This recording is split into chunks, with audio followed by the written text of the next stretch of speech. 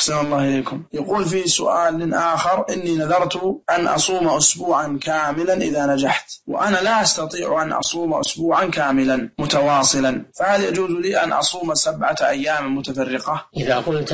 إذا نذرت أسبوعا معينا من الشهر كالأسبوع الأول أو الأوسط أو, أو الأخير فإنه يجب عليك صيام ذلك الأسبوع الذي عينته لأن النذر وجب عليك محددا فيجب عليك الوفاء بذلك أما إذا نذرت أسبوعا بمعنى سبعة أيام تريد سبعة أيام ولم تنوي تتابع فيها فلك أن تصومها مجتمعة وأن تصومها متفرقة أما إذا نويت أسبوع يعني من الجمعة إلى الجمعة فإنه يجب عليك صيام الأسبوع إذا نويت أسبوعا يجب عليك صيام الأسبوع من الجمعة إلى الجمعة أما إذا نذرت الأسبوع بمعنى سبعة أيام مطلقة فلك أن تصومها مجتمعة وأن تصومها متفرقة فالأمر راجع إلى نيتك نعم.